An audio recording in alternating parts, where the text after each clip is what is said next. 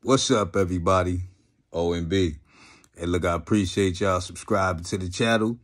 Do subscribe if you're not subscribed.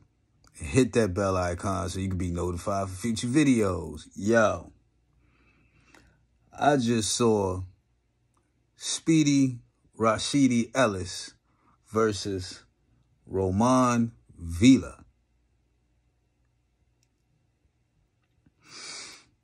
I'm to be honest. I thought Speedy had that fight, B. I thought he did. But the scorecards at the end, the one that said it was a draw, I can get at a pass. But those other two, I think it was 112, 114, something like that. 114. What? Y'all trying to say that Roman Villa beat up um Speedy Rashidi Ellis. That didn't happen, y'all. It didn't happen at all. You know what I think happened? I there was two questionable rounds, although you know your boy um Speedy Rashidi dominated somewhat in those rounds, but it was the fifth.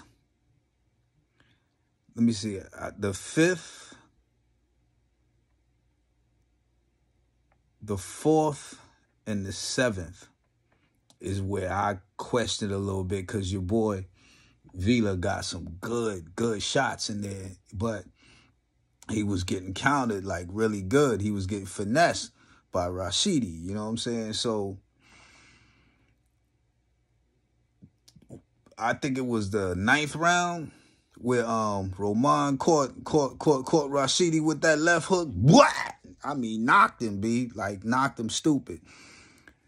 And um from there on, it was downhill for Rashidi. You know what I'm saying? But I don't think that your boy Roman did enough to win that fight. I don't think so. Granted, there was some questionable rounds there. The fourth, the fifth, and the seventh.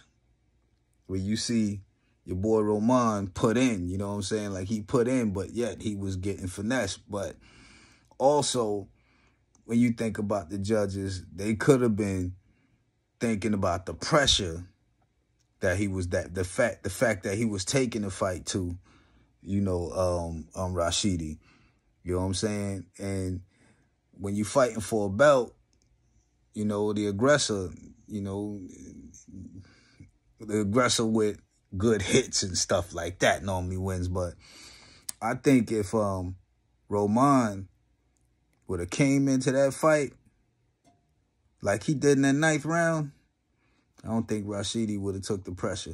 I don't, I don't think he could because he, you know, we we've seen pressure fighters, but we've seen pressure fighters get chopped down too. You know what I'm saying? So, you know, as they're saying, Jaron Boots Ennis was supposed to fight is supposed to fight the person who won that fight. So I guess if he wins this fight against what's his name, Karen, I don't know how you say that last name, man. Yeah, you mean you know. Anyway, you know what I'm saying? Um, dude, see, I think his record is 21 and one.